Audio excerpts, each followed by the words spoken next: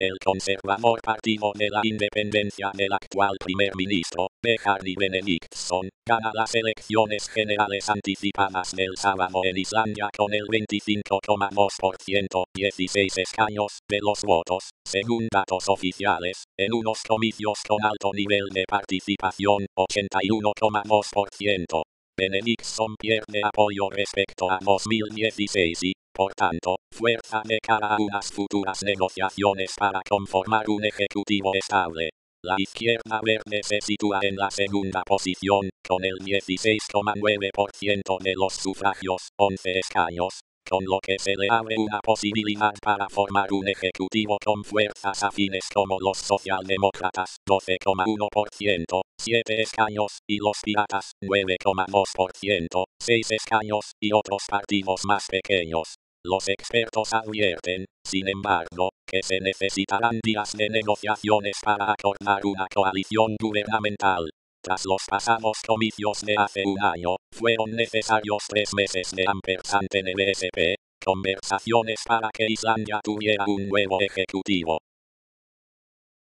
La gran sorpresa la ha dado el Partido Centro, la nueva formación creada por el ex primer ministro Sigmundur David Gunnlaugsson, con el 10,9%.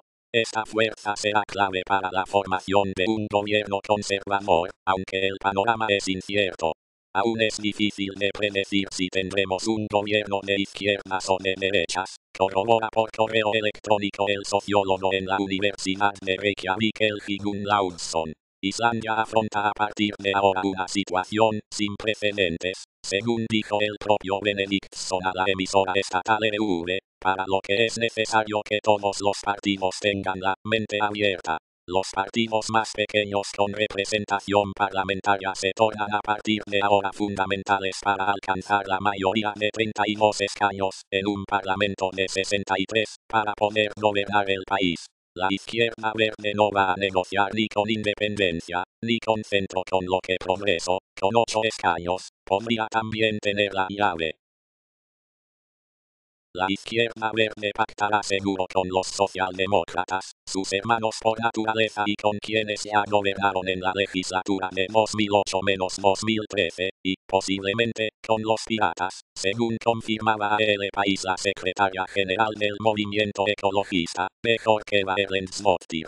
Pero este pacto solo suma 24 escaños por lo que tendrán que buscar apoyo en otras fuerzas menores, pero de gran importancia para ellos, o en progreso. El bloque conservador, independencia y centro llegaría a 23 escaños y necesitaría, pero con progreso alcanzaría 31, por tanto necesitaría tan solo uno más para ocupar el gobierno islandés.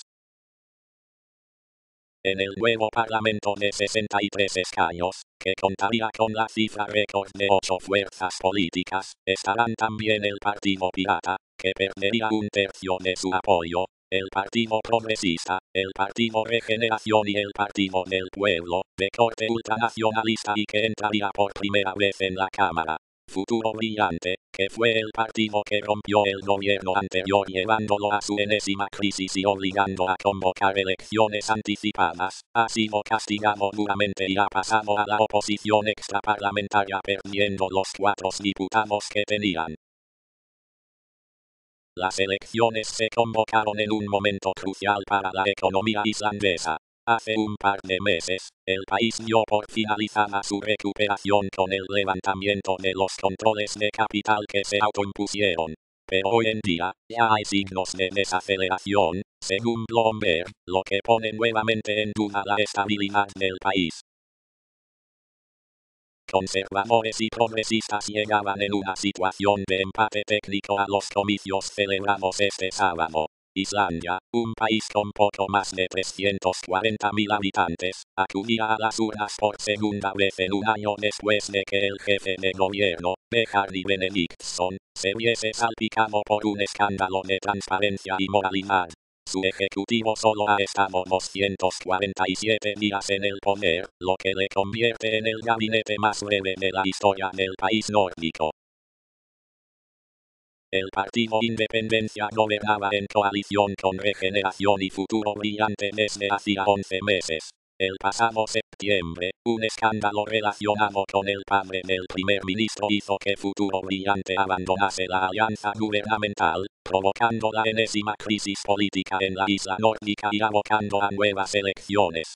Pero a pesar de la gravedad del caso, los conservadores de independencia siguen siendo la formación favorita para los islandeses. Los resultados preliminares así lo demuestran.